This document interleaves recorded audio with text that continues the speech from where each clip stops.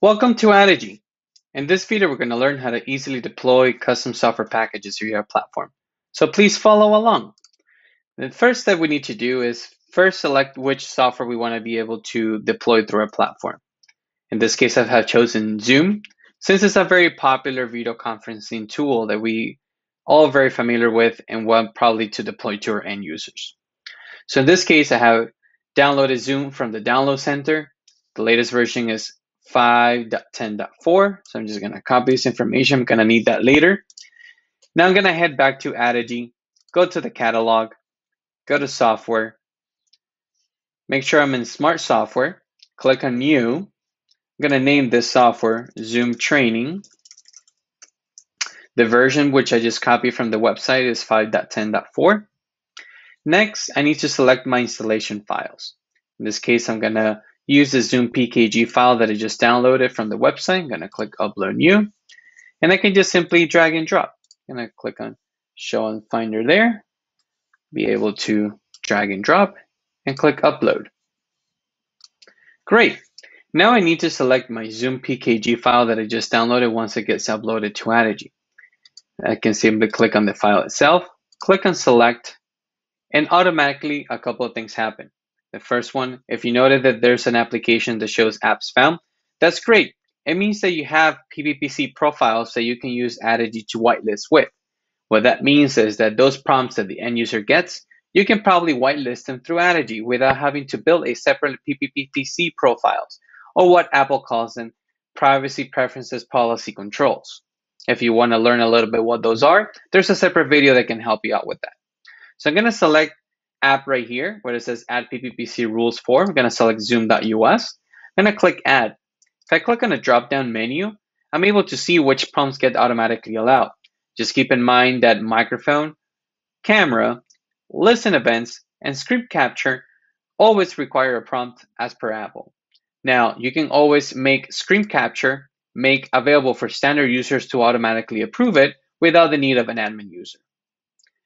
So in this case, I have done that. Great, I'm all done with my PPPC profiles. No need to build that configuration separately.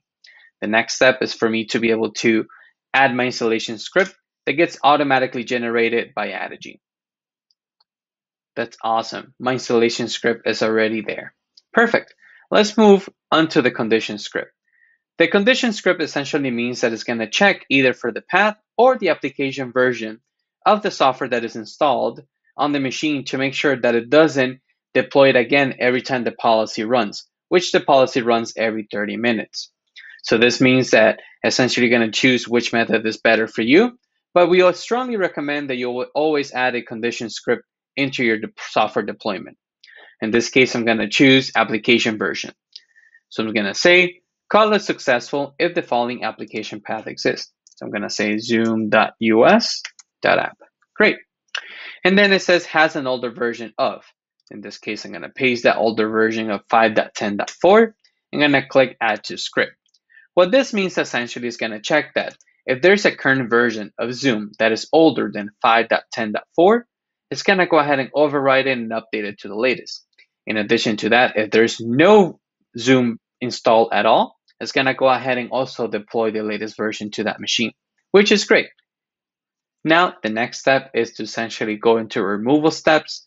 With removal steps, we have one or two choices if we want to be able to do this.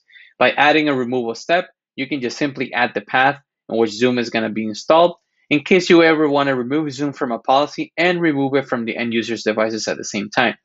What this means is that if you want to be able to remove Zoom from the policy and make sure that no users have it installed after being removed, simply add a directory path and add to script in order to do this. In this case, I'm going to do forward slash applications forward slash zoom.us setup. I'm going to click add to script. Great. Simply save the package. Now, my next step is to be able to assign the Zoom training application into my policy. Let's go ahead and do that. Now, I need to go into my policies. Once I select my policy, I'm going to select Addigy Training as my desired target policy where I want to be able to deploy Zoom into. I'm going to go into the software tab right here. Now I have my smart software tab. automatically available. I'm going to search for Zoom training. Great. Simply click on it, click add, add to policy, and confirm. Now, I have one or two options. I can easily wait for the next policy deployment to happen, or I can override that timer by just clicking deploy. I can just click OK, and it will automatically deploy at the moment.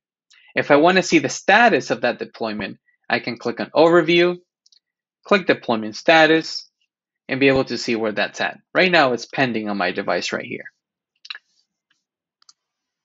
Now that I have deployed this into my policy, I can see that one of my target devices that are enrolled into this policy have already received the Zoom install, and you can see that was successful. Thank you very much for joining this video. Please follow the next video on how to be able to create monitoring items in Addigy. Thank you very much. Hope you enjoyed it. Have a great rest of your day.